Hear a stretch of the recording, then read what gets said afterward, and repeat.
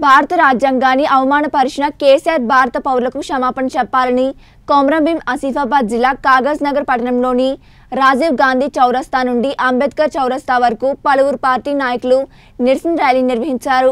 ఈ నిరసనలో SC ST BC minority వర్గాల ప్రజలు పాల్గొన్నారు. BSP party incharge Harshad Hussain మాట్లాడుతూ భారత రాజ్యాంగంతోనే తెలంగాణ రాష్ట్రం ఏర్పడిందని కేసీఆర్ కుటుంబం రాజ్యాంగం మీద ప్రమాణం చేసి మంత్రి పదవులు అనుభవిస్తున్నారని రాజ్యాంగం కోసం మాట్లాడిన మాటలు వెనక్కి తీసుకుని క్షమాపణ చెప్పారని డిమాండ్ చేశారు.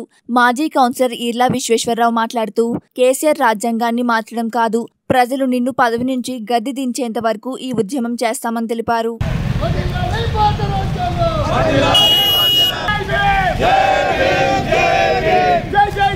అంబేద్కర్ గారి వల్లనే ఈ చిన్న రాష్ట్రాలు ఏర్పడతాయి అదే స్టేజ్ మీద ఎన్నో సభలలో తెలంగాణ అచ్చదాకా కూడా అంబేద్కర్నే మెచ్చుకొని ఇలా రాజ్యాంగాన్ని మారవాలని బౌరుగ్ర మాటలు మాట్లాడే కేసీఆర్ను మనం గద్దె దింపేదాకా కూడా ఈ పోరాటం చేయవలసి వస్తుంది.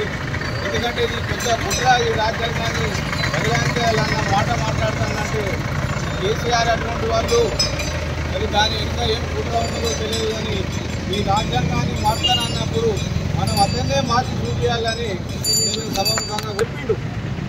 రాజ్యాంగం ఎప్పుడు తప్పు చేయదు. రాజ్యాంగాన్ని అమలు చేసే వ్యక్తుల తప్పుల వలన రాజ్యాంగం నిర్వీర్యమవుతుంది ఇవాళ తెలంగాణ రాష్ట్రంలో కూడా రాజ్యాంగ నిర్వీర్యం అవ్వడానికి కారణం కేసీఆర్ యొక్క నిరంకుశ వైఖరి. ఆయన రాజ్యాంగం గురించి నాలుగు రోజుల క్రితం కేసీఆర్ గారు రాజ్యాంగాన్ని మార్చాలని చెప్పి ఉద్దేశంతో రాజ్యాంగం మార్చాలని చెప్పి మొన్న చెప్పడం చాలా సిగ్గుచేటు.